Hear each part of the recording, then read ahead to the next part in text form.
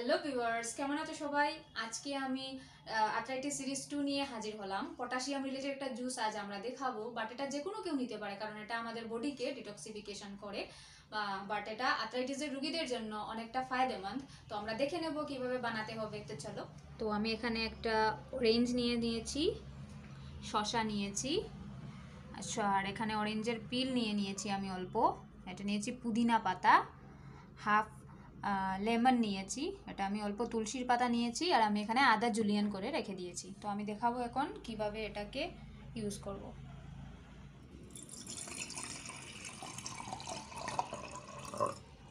জলটা আমি এখানে ঢেলে নিয়েছি।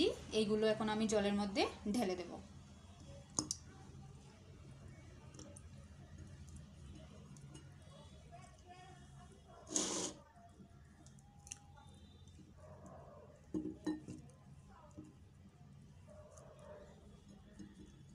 পুরো দিন এই জলটাই পান করলে অন্তত সপ্তাহ, সপ্তাহে এক থেকে দুদিন অনেকটা ভালো হবে।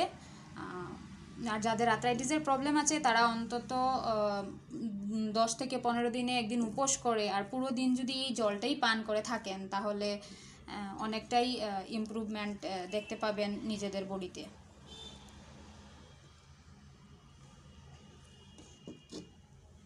আমি এখানে এগুলোকে ডুবিয়ে দিচ্ছি। পান করার পরে এই জলগুলো যখন শেষ হয়ে যাবে, আবার জল ঢালতে হবে এখানে। পুরো দিন এটাতেই জল ঢেলে ঢেলে আপনারা খেতে, নিতে পারেন। তো ভালো থাকুন, সুস্থ থাকুন। বাই